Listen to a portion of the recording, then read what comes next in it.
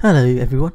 In my next video, okay, the next video, uh, we are going to be actually looking at uh, condition statements in JavaScript. Now, if you don't know what condition statements is, don't worry, because I will go through it in details in my next video. However, in order to learn about condition statements, we need to actually learn about another type of operators first. And in this video, we are going to be looking at comparison operators. Now, comparison operators is really easy. It's basically just comparing what's on the left and what's on the right. Now, if I just delete this, now we have this statement z equals x plus y. Now this is an assignment operator, so the value of z is going to be equals uh, the value of x plus the value of y. However, comparison operators isn't assigning values. It's about comparing the values that are already uh, put in into the variable. So uh, for example, let's say, uh, ignoring all the vars and stuff, let's just say x equals 5. And let's have, actually, let's put all in the comment. And y equals a 10. Okay, so we have this x equals 5 and y equals 10. I'll just put everything in the comments so that I don't mess anything up. Uh, there we go. Yep, so we have x equals 5 and y equals 10. And now let's look at this uh, x equals y thing. Now, when we say x equals y, the x value is going to be equals the y value. So x is going to be equals 10 because this is an assignment operator.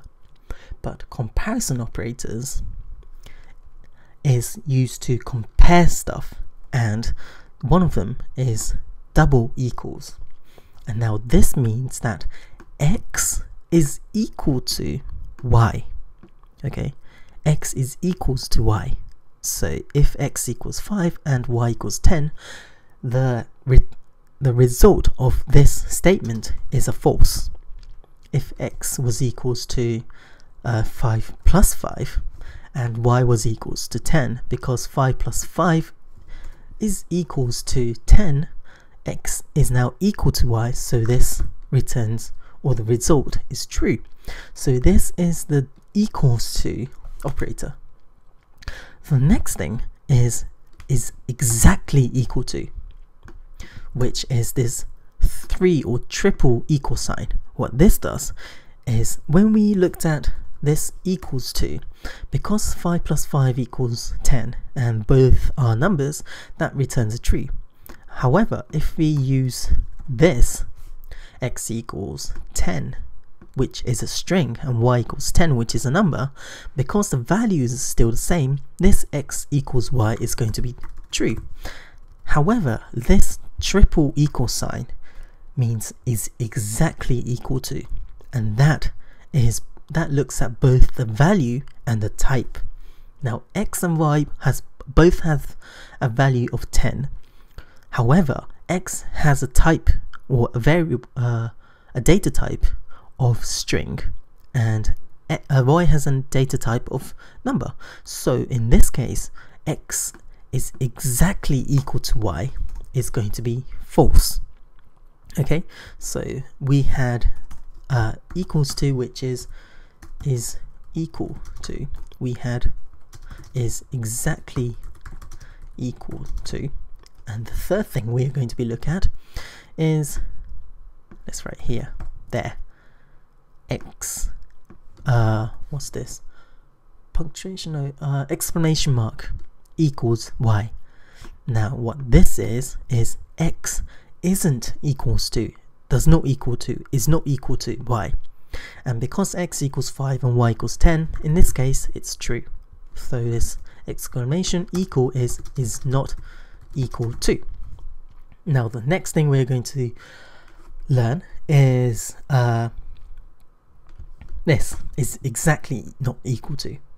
Now if uh, x was uh, a number 5 and y was an num uh, a string 5, this x does not equal to y becomes false because this only false because this only looks at the what do you call it, the value.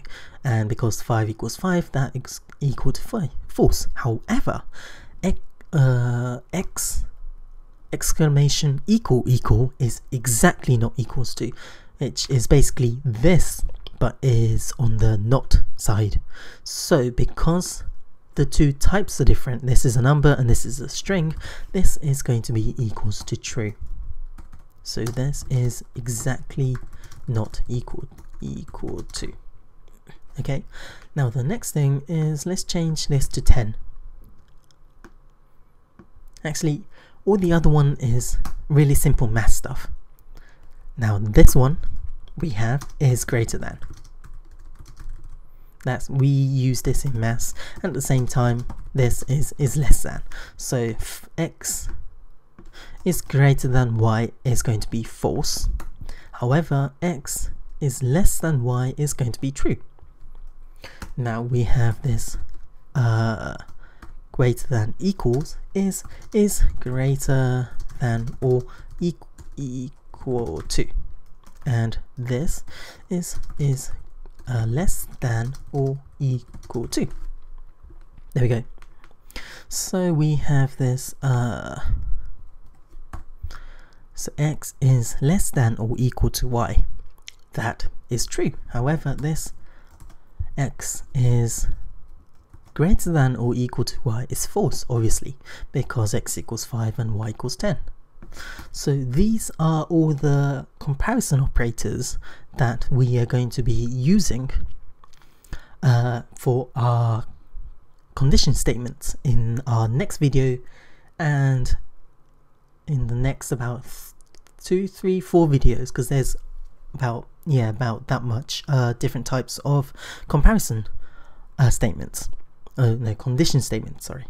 What condition statement is a look at two statements so they say uh, we have like x equals 5 and y equals 10 and they say if x equals y do this and so on okay so if x equals uh, 10, do that. Or if y equals 10, do this, and so on. So they look at a condition, and depending on that uh, condition, the outcome or the uh, the return value changes. Okay, so that was a quick video on all the comparison operators. Is equal to, exactly equal to, is not equal to, all the way down to is less than or equal to.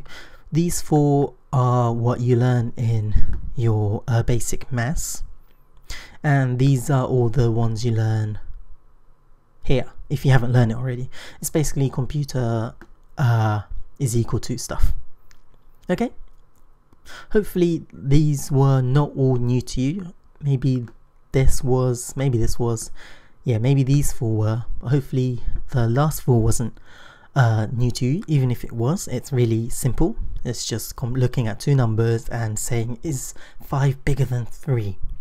And if it's yes, it returns a true. Simple. Uh, in my next video, we are going to be start looking. We are going to start looking at condition statements, which is one of my uh, favorite stuff in JavaScript. It is so fun to use, and it's really, really uh, useful. And if you know condition statements in one language, because in most languages, like scripting language and programming language, there is going to be some sort of condition statements. Uh, if you learn condition statements in one, lang one language, you'll get the condition statements in another language in like 10 seconds just by just because the signs and how you write it is slightly different. So yeah, it's really useful and fun to learn. So thanks for watching and I'll see you later.